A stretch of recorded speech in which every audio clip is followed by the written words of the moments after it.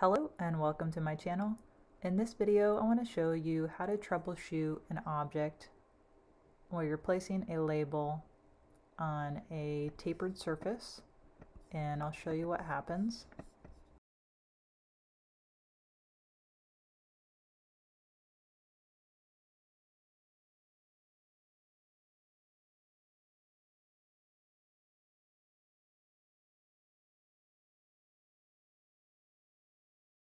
You'll see how it is at a crazy angle as it wraps around.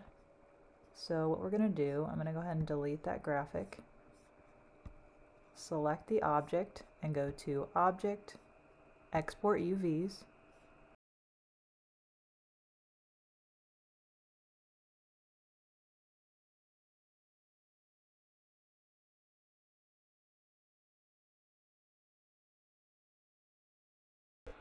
Once that's done, you will see a PSD file.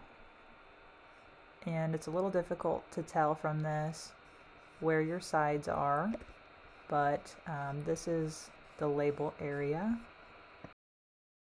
You may have to experiment.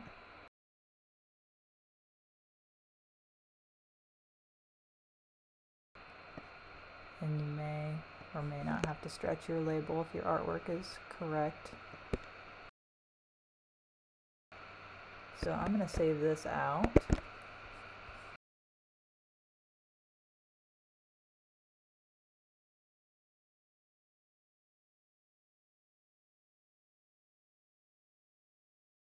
And now we can either with the object selected go to place decal or you can drag and drop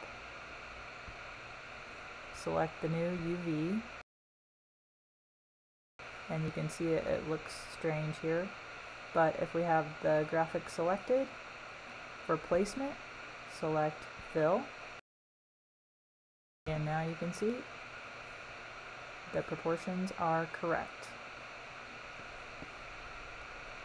If this video helped you out, please like the video and subscribe. Thanks for watching, and I'll see you next time.